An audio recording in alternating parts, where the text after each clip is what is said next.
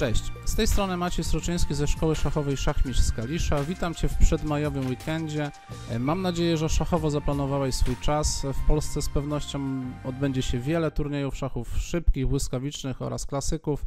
E, Także zachęcam Cię do udziału, do sprawdzenia swoich umiejętności w, właśnie na turniejach szachowych, bo na, właśnie na turniejach szachowych się e, zbiera najwięcej doświadczenia, e, no, które z pewnością gdzieś tam procentują w przyszłości.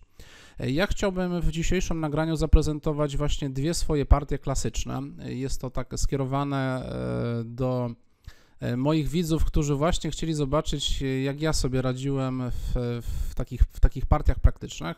E, Te partie pochodzą z 2009 roku. Brałem udział w międzynarodowym turnieju szachowym e, w Poznaniu i w zasadzie wiąże się to z taką ciekawą anegdotką, e, ponieważ no, rzadko zdarzało mi się i zdarza mi się do tej pory grać na jednym, w, w ciągu jednego dnia z dwoma arcymistrzami. W tych turniejach klasycznych gramy z reguły jeden pojedynek, jeden pojedynek w jednym dniu. No, czasami odbywają się te podwójne rundy. Także no, te partie z arcymistrzami, no to jest z pewnością takie no, wyjątkowe wydarzenie, no bo no, arcymistrz, no wiadomo, ranga, e, no zdecydowanie wtedy taki zawodnik e, jak ja, czyli, czyli zawodnik o niższej kategorii, o niższym tytule, ja mam tytuł mistrza FIDE, e, no tak spróbuje się sprężyć, no i no, każdy z nas po prostu działa wtedy na, na zasadzie bij mistrza, tak? E, Także ja miałem, ja miałem właśnie taką, taką przyjemność zagrać w Poznaniu z poranną rundę z arcymistrzem Włodzimierzem Schmidtem. Do tej partii przygotowywałem się dosyć długo, tam 2 czy 3 godziny. E, Wiedziałem, że pan arcymistrz no to jest bardzo znakomity e, szachista. Piętno, mm, jak, dzisiaj właśnie sobie tak przejrzałem te jego sukcesy na Wikipedii, no to naprawdę no e, piękne sukcesy, no myślę, że no, jeden z takich najbardziej wybitnych polskich szachistów. E, Tak przypomnę w skrócie, że pan Włodzimierz to 15-krotny e, medalista Mistrzostw Polski w szachach klasycznych, e, 17-krotny e, medalista w drużynowych Mistrzostwach Polskich e, w szachach klasycznych oraz jest też specjalistą od szachów błyskawicznych, aż 16-krotnie zdobywał tytuł Mistrza Polski w szachach błyskawicznych. Także no, reprezentował Polskę na wielu, wielu olimpiadach szachowych, także no, tym bardziej się cieszę, że udało mi się taką e, ciekawą partię e, z nim zagrać. E, No, też warto podkreślić, że pan Włodzimierz był pierwszym takim oficjalnie polskim zawodnikiem szachowym, który w, otrzymał tytuł arcymistrza. Także w 1976 roku właśnie Międzynarodowa Fe- Federacja FIDE przyznała panu, panu Schmidtowi właśnie tytuł arcymistrza. Także no, w takim pojedynku z takim zawodnikiem no, z pewnością byłem skazany na, na porażkę, aczkolwiek no, jako taki zawodnik ambitny, e, młody, który no, z pewnością no, wiele partii grał w, w, w ówczesnym czasie, no to myślę, że miałem jakieś szanse tam nawiązać e, przynajmniej walkę. Ja wtedy legitymowałem się rankingiem 2202, e, pan Włodzimierz miał ranking 2399. E, Wiedziałem, że pan Włodzimierz jest również ekspertem, jeżeli chodzi o obronę Grünfelda. Ja, ja e, z reguły rozpoczynam swoje partie ruchem D4 albo jakieś inne schematy zamknięte. Także nie starałem się wchodzić w te takie e, spory te- teoretyczne, spory debiutowe, bo wiedziałem również, że, że pan Włodzimierz doskonale właśnie orientuje się w tych wszystkich schematach. Dlatego postanowiłem, właśnie obrona Grünfelda w ogóle jest takim debiutem bardzo, bardzo żywym, bardzo otwartym, dlatego sta- postarałem się tak doprowadzić do takiej sytuacji e, bardziej zamkniętej. No i wydaje mi się, że ten eksperyment debiutowy mi się powiódł. Zobaczmy zresztą. Ja gram białymi. Rozpocząłem od ruchu D4, skoczek F6, skoczek F3, G6. Tutaj e, obrona Greenfelda, czyli e, pan Włodzimierz e, z pewnością planował zagranie goniec G7, zagranie ruchu D5, zrobienie roszadu i taką aktywną grę na przykład poprzez e, posunięcie C5. Ja wybrałem tutaj inny schemat, e, goniec G5. E, Właśnie nie chciałem ruszać pionka C na pole C4. Chciałem go zostawić, zatrzymać, żeby ten pionek znalazł się na polu C3. E, No taki miałem mniej więcej plan, że właśnie na D5, na C5 będę odpowiadał takim domkiem C3, E3. Tutaj też była taka zachęta, żeby po gońcu G5 em, czarne weszły w wariant skoczek E4, ale to też już troszeczkę e, inne schematy zaczynają po tym powstawać. Już schodzimy z takich ścieżek debiutowych e, obrony Greenfelda, także po skoczek E4 pewnie zagrałbym goniec F4. No i gra toczyłaby się pewnie w tym stylu, że grałbym E3, pewnie jakiś goniec D3, skoczek D2 i zrobił krótką roszadę. Czarny goniec G7 i ja zagrałem właśnie posunięcie skoczek z B na D2. W klasycznym Greenfeldzie gra się posunięcie C4 e, i skoczek staje na polu C3, a czarne z kolei odpowiadają posunięciem D5. Czarny D5, E3, roszada, goniec D3 i aktywna e, gra tutaj powstaje właśnie po ruchu C5. Oczywiście tutaj dla bardziej początkujących zawodników tylko wspomnę, że bicie na C5 raczej jest e, słabe, bo po DC E, tego pionka i tak się w łatwy sposób odbija, na przykład posunięciem hetman A5, robimy tutaj związanie i tego pionka bez problemu się odbija. Ja robię ten swój domek C3 i czarne hetman na B6. Tutaj właśnie z tego co pamiętam, to właśnie nawet do tej pozycji byłem tak dosyć dobrze przygotowany. E, I ta pozycja z tego przygotowania debiutowego mi się podobała. Mogę w tej pozycji zagrać ruch hetman B3. Tutaj oczywiście widełek nie ma bo po ruchu C4 zagram hetman bije na B6 i zdążę tym gońcem sobie uciec na C2. Czarne odpowiedziały skoczek C6, ja zrobiłem roszadę i czarne e, C4. E, tutaj ten schemat dla czarnych byłby jeszcze lepszy, zaraz pokażę dlaczego. Jeżeli nastąpi hetman bije B6, czy tak muszę zagrać, to po A bije B6, goniec C2, B5, ten schemat dla czarnych jest jeszcze lepszy wtedy, kiedy e, na przykład e, białe tutaj się spóźnią z jednym tempem. Czyli na przykład gdyby ta pozycja była taka, że nie byłoby roszady, na przykład król stałby na polu E1, a wieża by stała na polu H1, to mimo, że białe mogą zagrać posunięcie A3, to czarne odpowiadają B4, CB i nie ma ruchu A bije B4, no bo wieża nie jest po prostu broniona, tak? To jest w przypadku wariantu, kiedy nie została zrobiona roszada. Także tutaj e, ja właśnie planowałem sobie w tej partii, że, że ta pozycja tak bardzo skostnieje w debiucie, tak jak tutaj widzimy, no że czarne po prostu e, nie, nie, nie będą mogły uzyskać takiej bardzo, bardzo aktywnej gry. Także po ruchu A3 tu już widzimy, że nie wchodzi ten wariant, o którym mówiłem przed chwilą, bo po B4, CB, Skoczek bije B4, można zbić AB, bo ta wieża już jest broniona.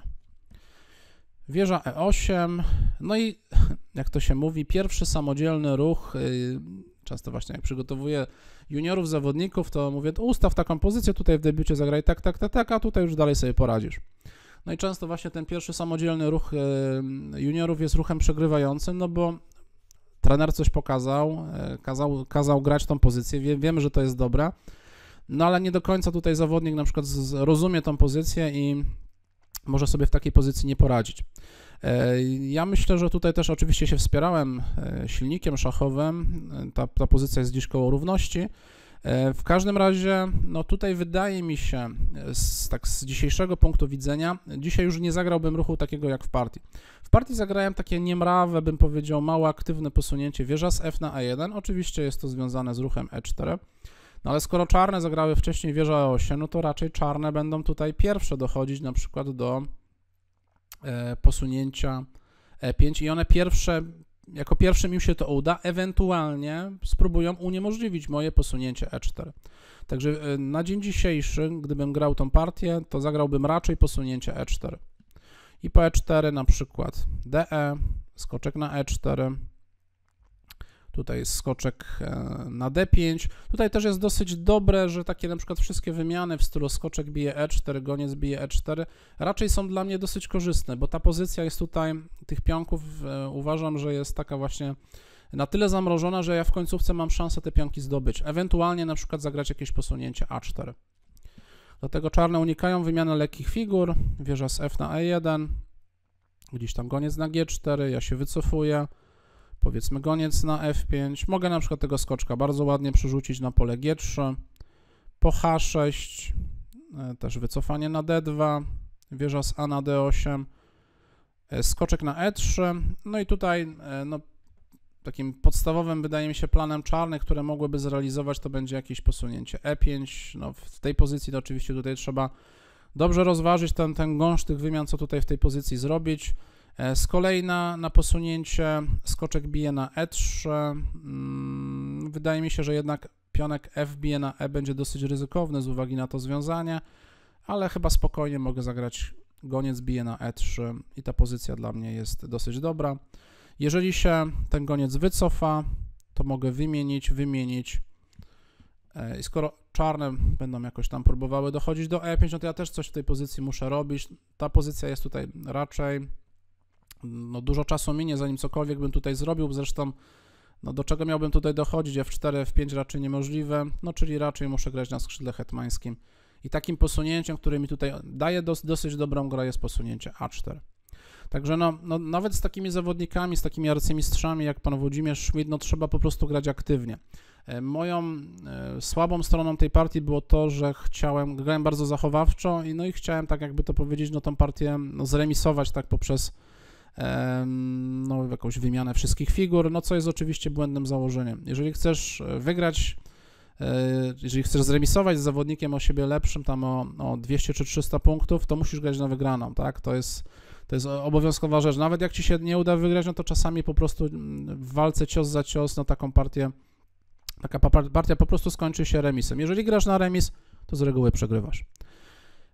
W partii poszło właśnie zachowawcze posunięcie wieża z f na e1 i czarne odpowiedziały goniec f5. No, no i teraz mam dylemat. Bić na f5, jeżeli zbiję na f5, to po g bije na f5, no to moje e4 jest utrudnione, dlatego zdecydowałem się znowu na takie no, posunięcie, które raczej, raczej jest no, mało aktywne, czyli wieża z A na C1. Nastąpiła wymiana, wymiana. No i mój plan został kompletnie zabrany. Skoczek, skoczek na E4. Tutaj pan Włodzimierz ocenił, że nawet te dublaki na linii E, e też są na linii B, e, no i tak spowodują, że, że gra czarnych po prostu będzie lepsza. No i tak też było w partii.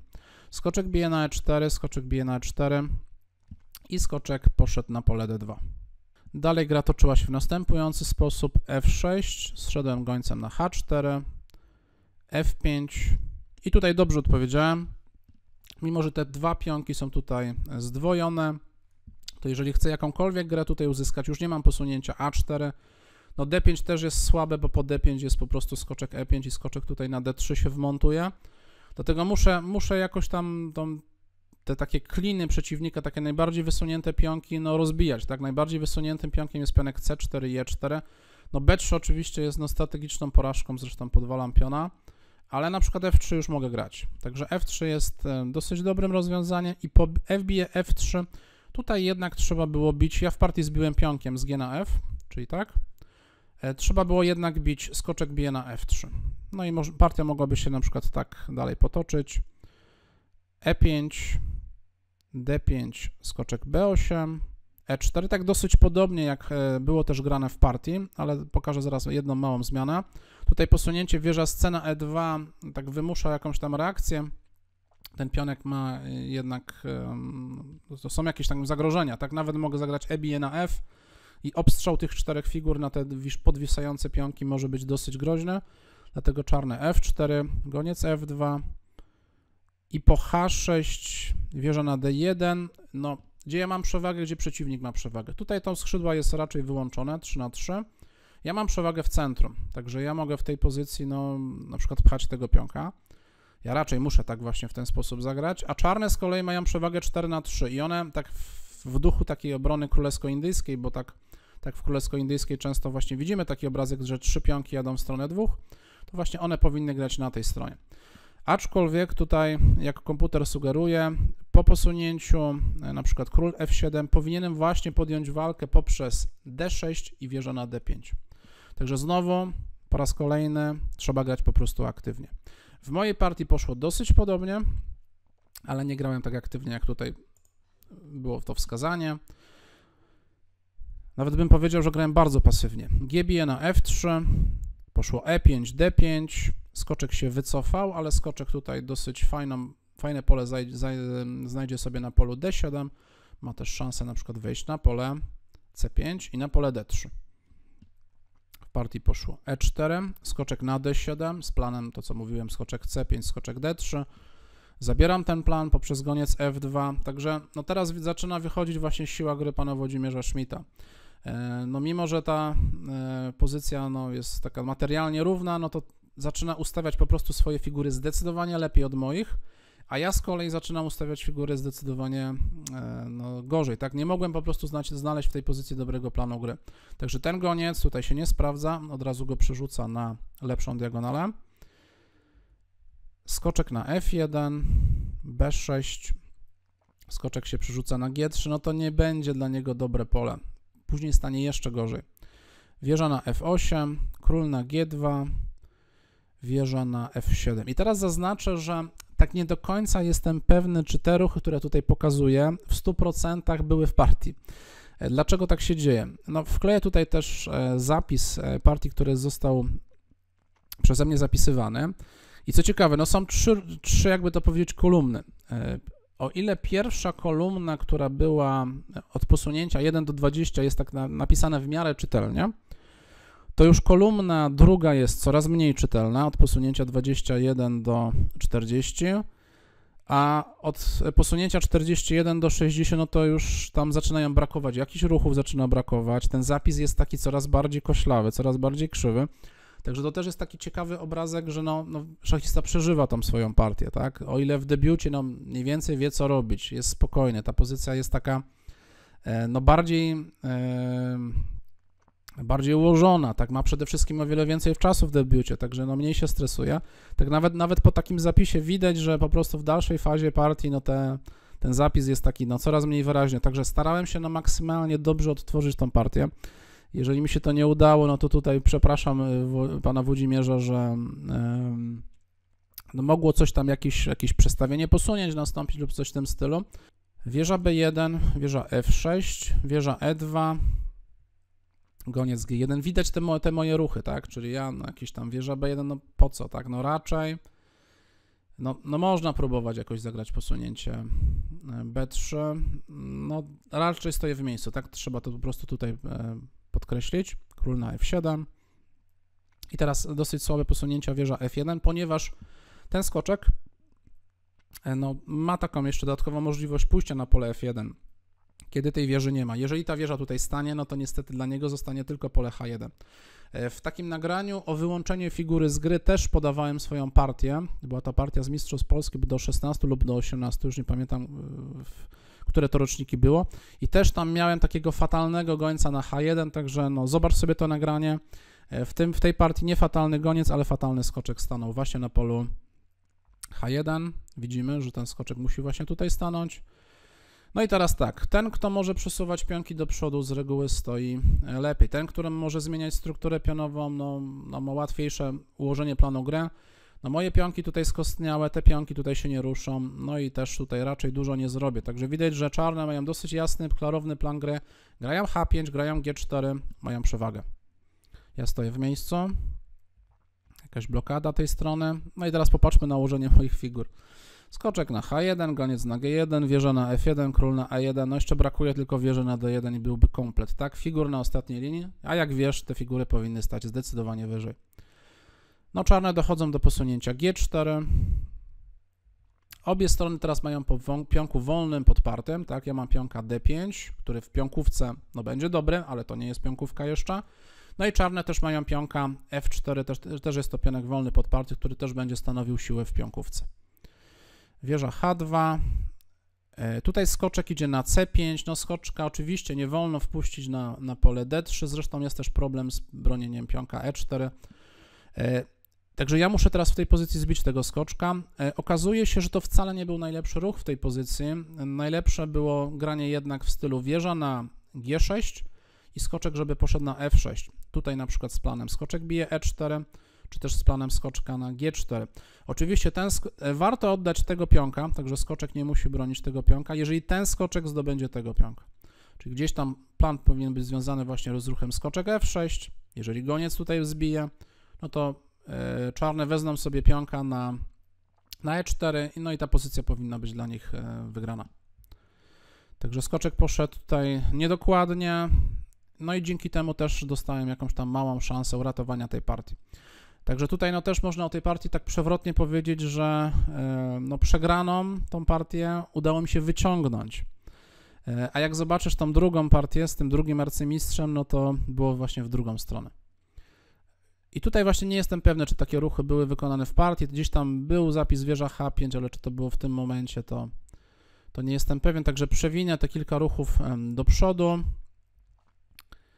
No właśnie tutaj też takie dosyć, dosyć e, wątpliwe posunięcie. Nie jestem pewien, czy to było, czy to goniec na G1.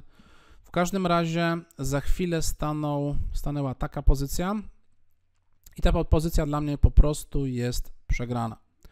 E, należało w tej sytuacji nie grać wieża G2, tak jak tutaj e, czarne zagrały. Wygrywało posunięcie wieża G3, wieża bije, wieża bije, król na E2, wieża na E3, szach, król odchodzi, e, biorą sobie, wymieniają gońca za skoczka i po wieża bije e, F2, wieża bije E4. Także no, tak właśnie nie jestem pewien, no bo tak, e, czy ta pozycja była, no bo ciężko mi sobie wyobrazić, że pan Włodzimierz po prostu tego nie widział. No być może to też wynikało z jakiegoś tam zmęczenia, to już była tam trzecia godzina czy czwarta e, gry, no ale tak doświadczony zawodnik raczej powinien takie, tak, takie zagranie widzieć. Ja też coś tak przypominam sobie, to, ta partia była w końcu 10 lat temu, ale przypominam sobie, że coś tak odetchnąłem z, z ulgą gdzieś w tym momencie, że, że mój przeciwnik czegoś tam nie, nie widział i też się zdziwiłem, że nie wziął tego pionka.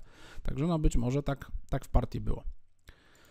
Poszło wieża G2, wieża poszła na H5, nastąpiła wymiana, no i to właśnie to było takie dosyć no, kluczowe dla mnie, tak, dla, dla strony broniącej się, że, że pozbyłem się tego e, słabego skoczka.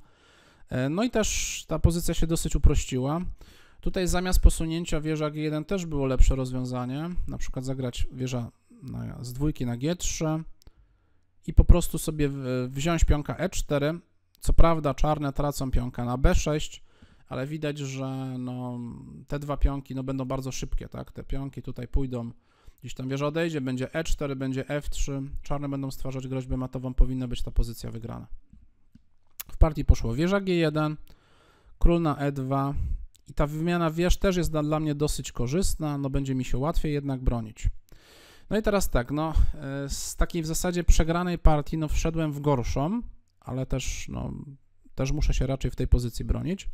No i często właśnie, jeżeli grasz sobie partię, ciśniesz przeciwnika, masz coraz lepszą pozycję, gdzieś tam nawet na pograniczu wygranej, a okazuje się, że coś tam przeoczyłeś, czegoś nie zauważyłeś, no to e, później tak coś w głowie, w psychice zostaje, no kurde, ale przegapiłem szansę, tak próbuję się cisnąć, cisnąć tą partię nadal na wygraną, mimo że pozycja jest już bliska remisu. Tak właśnie było w tej partii.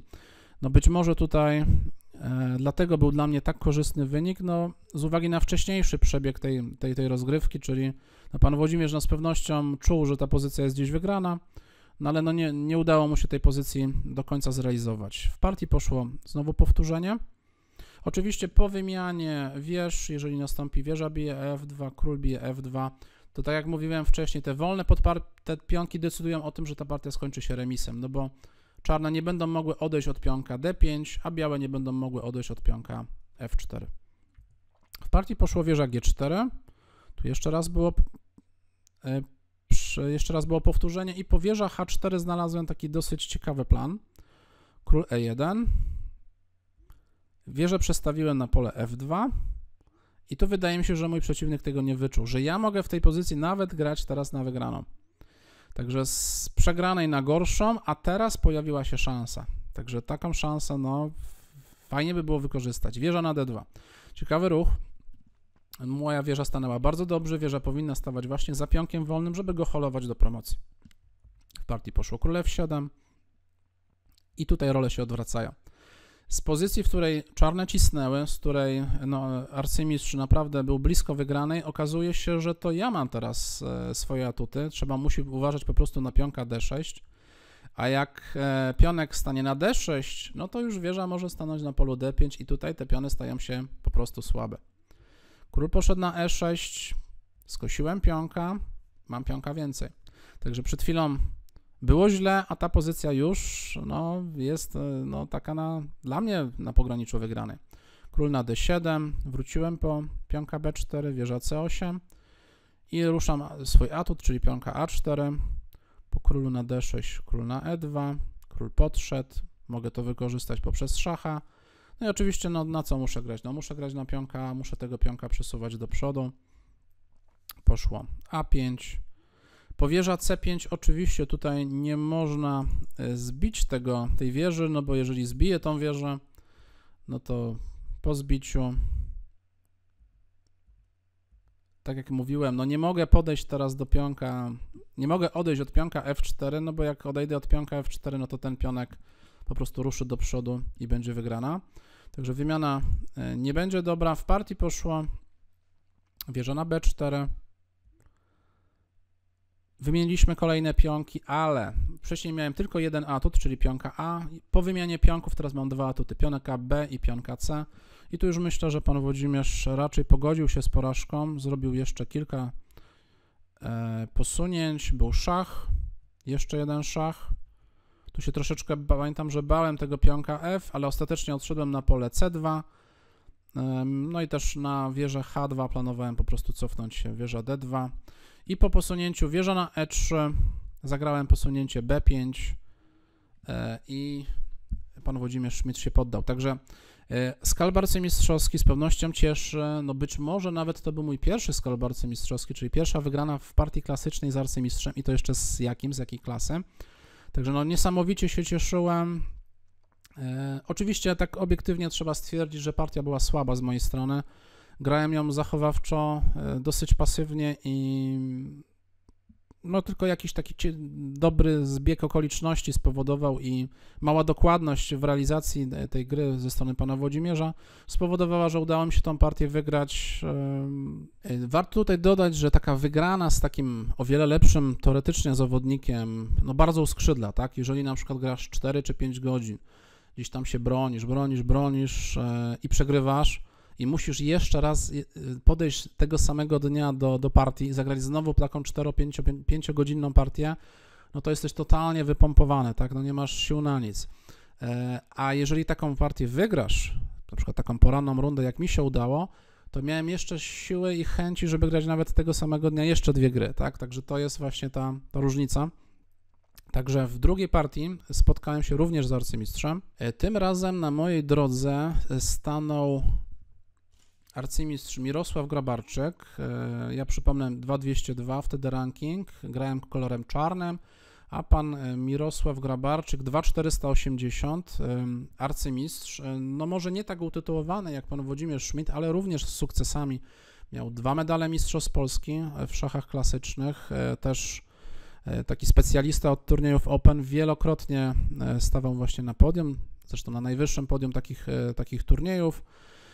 Także myślę, że no taki znany z bardzo solidnej gry, dosyć często remisuje partię, tak jak ja, ale no z pewnością jest zawodnikiem takim trudnym do przebicia, trudnym do, do grania. Także ja się spotkałem właśnie tego samego dnia, z, tak jak mówiłem, poranna partia z panem Schmidtem, z panem Grabarczykiem, grałem już rundę popołudniową.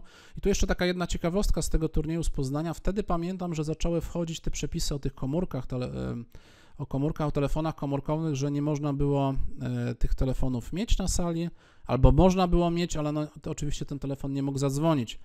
No 2009 rok, no, rok no to to już właśnie te powoli tam mm, te komórki już tak stawały się coraz bardziej powszechne, teraz to już praktycznie każdy nastolatek ma e, telefon komórkowy, jest to, jest to, jest to oczywiste.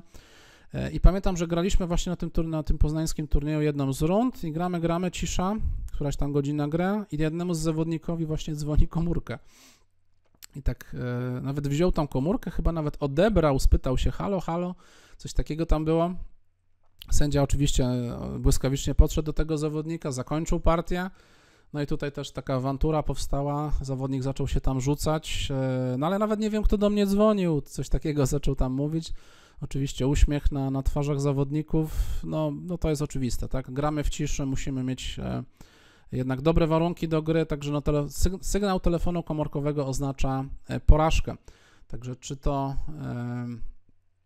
e, właśnie taki sygnał dźwiękowy, takie dzwonienie, czy nawet SMS, który, który może przyjść, może spowodować, że po prostu przegrasz swój pojedynek.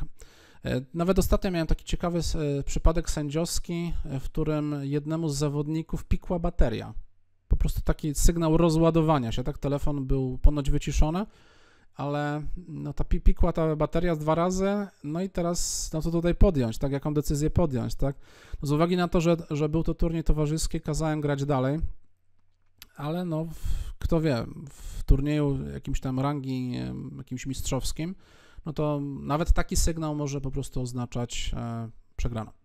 Dobrze, e, przejdźmy do tej partii. Ja grałem tym razem kolorem czarnym, D4, D5, skoczek F3, skoczek F6, C4, gambit hetmański. Ja wybrałem tutaj obronę słowiańską, hetman C2. E, I tutaj są różne możliwości. Jedną z częściej spotykanych jest granie posunięcia DC. Hetman bije na C4 i goniec na F5. E, można też grać posunięcie G6 z planem gońca na F5, z takimi planami się też spotykałem. Ja w tej pozycji zagrałem E6, także no raczej znowu zagrałem tak dosyć pasywnie, dosyć bezpiecznie. Nie chciałem się wychylać. No to w partii z panem Włodzimierzem się sprawdziło, dlaczego by tak nie zagrać z panem Grabarczykiem.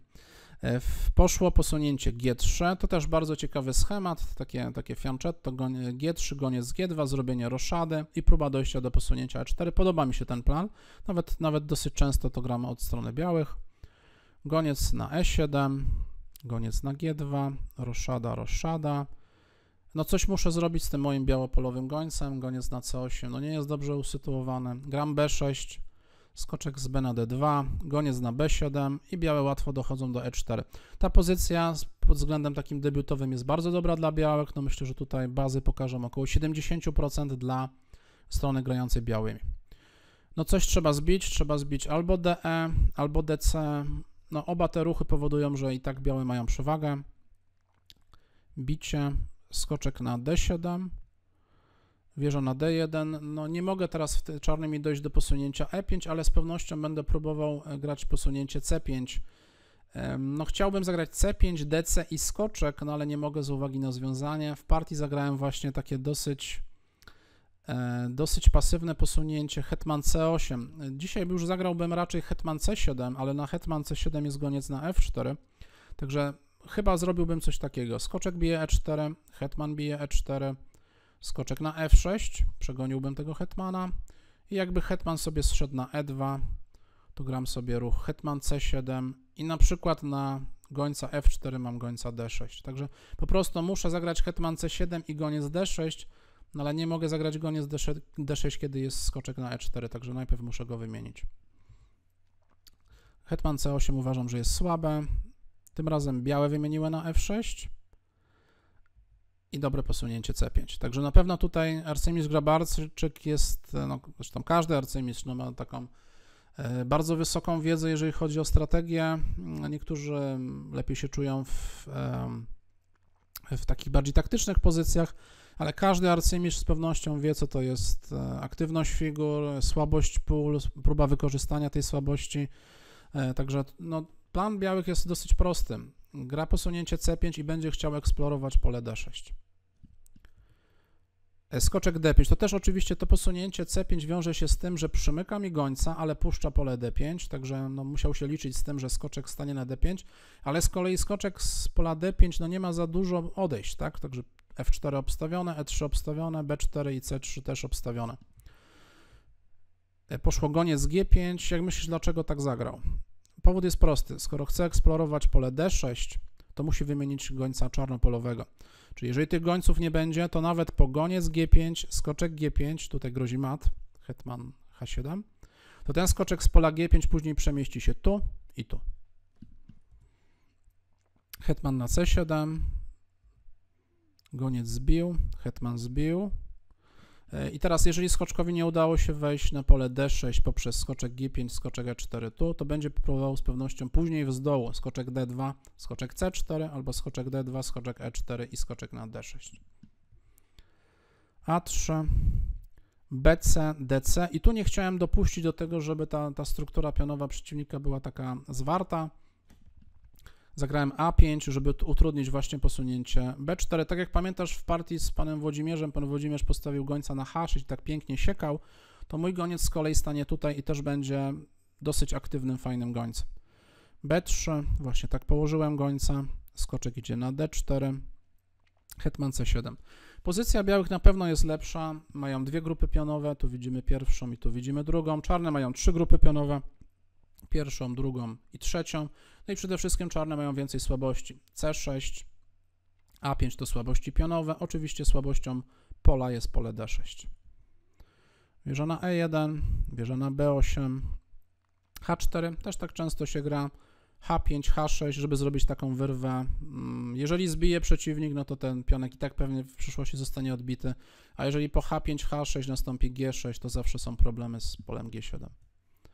Wieża na D8, wieża na D1. I tu zastosowałem taki dosyć fajny plan, bo ten goniec, mimo że na tej przekątnej, e, to tak nie do końca się sprawdza, wolałem go przestawić na pole E6, a jak uda mi się go przestawić na pole E6, to też przegonię skoczka. Także zagrałem goniec C8. E, teraz chciałem oczywiście zagrać posunięcie E5, no ale jeżeli skoczek się cofnął, to skoczek i wieża mi to obstawiałem, dlatego zagrałem posunięcie F6. I to co mówiłem, skoczek będzie tutaj pędził na pole D6. No i niestety nie mogę temu zapobiec. E5, skoczek na C4, goniec poszedł na E6, wieża D2, oczywiście też walka o linię D, Skoczek poszedł na E7 i wieża weszła na, na D6. Nie mogę oczywiście wieża D6, bo CD i widełeczki. Goniec się wycofał na F7. Tutaj też granie król F7 jest niemożliwe, bo hetman na H7. Goniec się wycofał, zdwojenie wież i podmianka. Wcześniej tutaj na polu D5 stanął skoczek, teraz stanie goniec. E, hetman D2 i poszło w partii wieża na B5. Tutaj nie można było za bardzo z mojej strony zbić na B3, ponieważ nastąpi bicie na A5, wieża bije A3, bicie na D8, hetman bije na D8 i tutaj wykorzystanie motywu związania na tej linii. Goniec nie jest w stanie tutaj wszystkiego wybronić. Skoczek bije C6 niestety wchodzi. I poskoczek bije na c6, hetman bije, hetman bije, goniec bije, podwójne uderzenie. Zostaje w tej pozycji bez figury i przegrana pozycja. Także nie mogłem grać wieża b3, zagrałem wieża na b5. Poszło a4, wieża na b4 i tak jak to często bywa, zawodnik, który ma lepszą pozycję, często jest właśnie taki E, no właśnie, do przodu, do przodu i staje się taki troszeczkę uśpiony, coś tam czasami może przeoczyć i nawet przewartościować swoją pozycję, że będzie uważał, że jego pozycja jest e, no, no już, już tak bliska wygranej, że, że tutaj nie musi być czujny. No i teraz pan, e, pan Mirosław Grabarczyk się teraz nie popisał, bo tutaj po prostu przeoczył taki dosyć prosty motyw, tak? Grał na to, że skoczek, skoczek idzie na A5, tak zagrał w partii, i liczą na to, że ja zbiję hetmanem na A5 i powierza D8, hetman D8 weźmie sobie na B4. Jest to ruch, w zasadzie można powiedzieć, skoczek A5 jest to ruch przegrywający. Na posunięcie skoczek A5 ja zagram wieża D4. I tak też było w partii. Także nie można było tego zagrać, tego ruchu skoczek na A5, a no tak też muszę przyznać, że no, pozycja jest o wiele lepsza dla białych.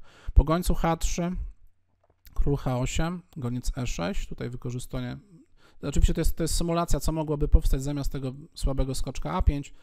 Po gońcu E6 oczywiście nie można bić na E6, bo wieża na D8. Gdyby na przykład hetman na B8, można tutaj spróbować jeszcze bardziej docisnąć e, pozycję czarnego króla i po H6 hetman na C2, hetman C7, może nastąpić zbicie, zbicie, no i niestety po skoczku na D6 tu jest bardzo, bardzo, wręcz można powiedzieć, że już jest przegrana pozycja. Grozi skoczek na F7 z widełkami i też z biciem na przykład na, na H6. Pogoniec bije na E6 z kolei, jest atak z odsłony i strata hetmana. Także no, Na moje szczęście oczywiście tego wariantu tutaj e, nie było, e, upiekło się jakby to powiedzieć, no i poszło posunięcie, słabsze posunięcie skoczek na, na A5, no i wieża D4. W tej pozycji po prostu biorę figurę. Hetman nie rozdwoi się, nie będzie jednocześnie bronił skoczka, nie będzie jednocześnie bronił wieży, także gdyby hetman odszedł w jeden bok lub w drugi bok, to wieża D1, hetman D1 i biorę sobie skoczka za darmo. W partii poszło skoczek C6, goniec zbił. Tutaj widzimy taki e, motyw też takiego rentgena, tak, wieża broni wieżę przez wieżę przeciwnika. Hetman schodzi na C1, wieża z 8 bije na D6, no być może tutaj no, liczył też na to, że będę bił e, tą wieżą, no chyba nie ma, znaczy bezpiecznie na pewno zbić tą wieżą, wieża z 8 na D6, zbicie, zbicie, zbicie, zbicie na D4 poszło, i oczywiście, żeby tutaj było łatwiej, to no teraz jest 4 na 3, ale nie mam pionka wolnego, a po e bije na d4 mogę teraz po prostu pchać tego pionka. Także tak podsumowując, zostaje z figurą więcej. E, mój przeciwnik ma za to tylko pionka, e, bo ja mam przewagę na, w centrum, tego pionka mogę pchać, a on z kolei będzie pchał te pionki. I teraz, jak myślisz, jakim wynikiem skończyła się ta partia? No, jak się domyślasz, wynik był przewrotny. Skoro e, pierwszą partię miałem przegraną i wygrałem, no to w drugiej partii było na odwrót. Kompletnie wygrana partia, tam plus 5 czy plus 6 w pewnym momencie, i ja tą pozycję przegrywam. Także no niesłychana sprawa. No ale zobaczmy, jak do tego doszło. Goniec na F1, goniec na D5, A5, wziąłem pionka, A6. No teraz mam czystą figurę więcej, tak? Trzy punkty, goniec więcej, no on, co prawda, dwa pionki do promocji, ja trzy pionki do promocji, no ale ja mam dalekosiężnego gońca, który może tą, tą sytuację powstrzymać. Najpierw poszedł skoczek na C6. Tutaj też y, posunięcie A7 jest teraz utrudnione. Hetman poszedł na B1. Goniec się bardzo dobrze scentralizował. Goniec uderza w stronę króla i jednocześnie też patrzy na e, pole promocji. Hetman B7, skoczek E5 znowu dobrze, atak z odsłony, mamy możliwość tutaj grania skoczek f3, hetman c8 szach, król f7, pionek poszedł na a7, no i teraz wykorzystuję to, że no, pozycja króla białego jest niepewna, po prostu biorę sobie piona, powtórzyłem, teraz mam figurę więcej i piona więcej, no i oczywiście muszę na tego pionka uważać. I teraz, e, gdyby tak, no nie wiem, tam w tej partii, gdybym miał, nie wiem, kilka minut do końca partii, gdybym grał na ostatnich sekundach, no to być może byłaby tu mowa o, e, o jakimś takim błędzie wynikającym z no, braku policzenia. E, no ja często mam taką przypadłość, że właśnie nie mogę wygrać wygranej pozycji, tak zresztą nie tylko ja. No, mówi się tak, nawet taki jest, taki jest cytat, że najtrudniej wygrać wygraną pozycję. E, ja miałem w tej, w tej pozycji około 30 minut, może nawet 35 minut. Mój przeciwnik miał zdecydowanie mniej, tam już miał 5-10 minut. I ja teraz myślałem, myślałem, myślałem, w tej pozycji to około 20 minut, jak nie więcej, może nawet 25 minut i popełniłem błąd. Także im dłuższy namysł, tym świadczy to o takiej większej niepewności zawodnika. A ja po prostu to, nie wiem, ze zmęczenia czy z jakiegoś takiej ekscytacji, no słuchaj, no możesz w ten dzień ograć drugiego arcymistrza, no to jest naprawdę coś, coś niebywałego, tak? Skoro wcześniej nie ograłeś e, żadnego z tych zawodników o tytuł GM, e, no, no co, co było najprostsze tutaj do, do wygrania? Można było na przykład zamiast e, posunięcia, zagrałem posunięcie hetman c6, można było zagrać na przykład ruch hetman e5. Jeżeli przeciwnik robi promocję, szach, goniec na h3. E, tu oczywiście mata jeszcze nie ma, bo hetman bije h3, bo hetman to broni, ale mogę zagrać goniec bije, hetman bije, hetman mat.